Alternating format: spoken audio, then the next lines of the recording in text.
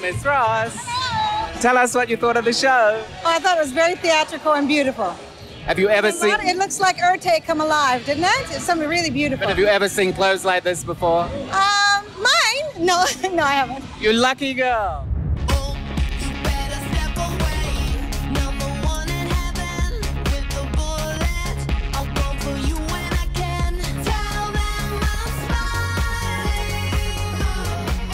Hi, I'm Tim Blanks for Style.com. And when you look up fashion show in a dictionary, I think this is the show that should be there. It's a Christian Dior haute couture show from the Opera House in Paris.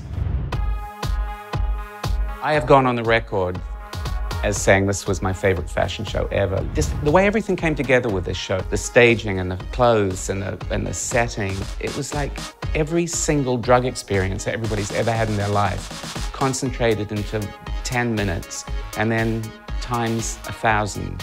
John Galliano had turned the entire opera house in Paris into the context for this show, which was all about the Marchesa Casati, one of his muses from the early 20th century, and her fascination with the Ballet Russe, Sergei Diaghilev's dance company, which completely changed the way people felt about culture in the early 20th century. I think that you know clothes that make you feel wonderful. I think there's there's a need for that now, whether it's in the fabric or the cut or, or something a little bit more, a little bit of history. So when you put it on, it's it means a bit more than as it did in the old days.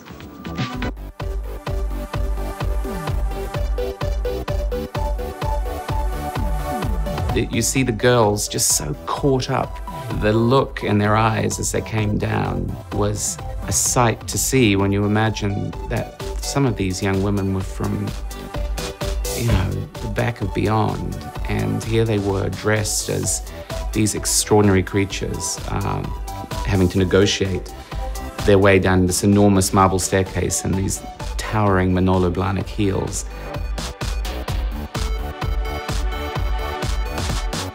The interesting thing about couture is, is that it was a show. It was a spectacle. Uh, it wasn't designed to do anything other really than promote Dior.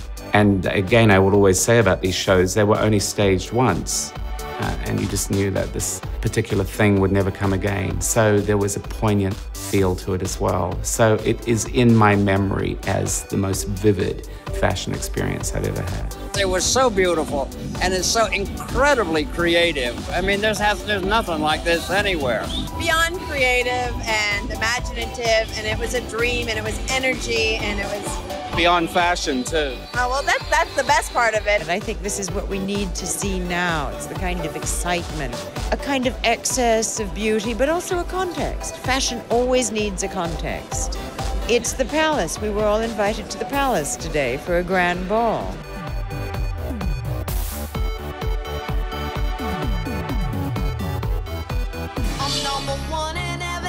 John Galliano always used to say that for him, the show was the perfume of the collection. Did you smell that one? Send us your comments and please subscribe to Style.com.